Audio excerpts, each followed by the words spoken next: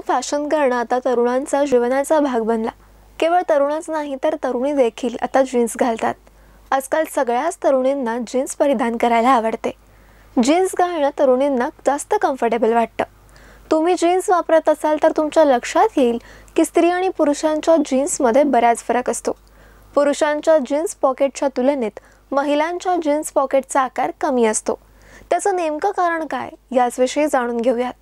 मागील काही दशकांपासून जीन्स पॅन्ट फॅशनच्या केंद्रस्थानी आहे. तरुण तरुणींमध्ये तर जीन्स पॅन्टची लोकप्रियता प्रचंड आहे. जीन्स पॅन्टची खासियत अशी की ती कधीही कुठेही वापरता येते. जीन्स पॅन्ट बरोबर तुम्ही कोणतेही कॉम्बिनेशन करू शकता. हल्ली तर अनेक प्रकारच्या रंगात डिझाईनमध्ये आणि स्टाईलमध्ये जीन्स पॅन्ट बाजारात उपलब्ध आहेत. जगभरातील खूप मोठी लोकसंख्या जीन्सचा वापर करते. तुम्ही जीन्स निरखून पाहिली तर तुमच्या लक्षात येईल की मुलींच्या जीन्सचे खिसे मुलांच्या जीन्सपेक्षा लहान असतात. महिलांच्या जीन्सचे खिसे पुरुषांच्या जीन्सच्या खिशांपेक्षा लहान असण्याचं मुख्य कारण म्हणजे किमतीत कपात असल्याचं सांगितलं जातं. कारण मुलींच्या जीन्सचे खिसे लहान ठेवण्यातून देखील कंपन्यांना भरपूर नफा होतो. त्यामुळे अनेक नामांकित कंपन्या देखील महिलांच्या जीन्सला लहानसा खिसा देऊन कॉस्ट कटिंग करतात आणि पैसे वाचवतात. त्यासाठी कारण मात्र फॅशनचं दिलं जातं.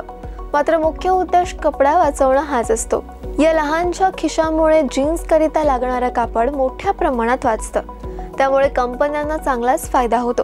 याशिवाय बहुतेक जीन्स तयार करणाऱ्या कंपन्या या जीन्सचा खिसा नाही तर महिलांच्या जीन्स पॅन्टच लहान ठेवण्याचा विचार करतात.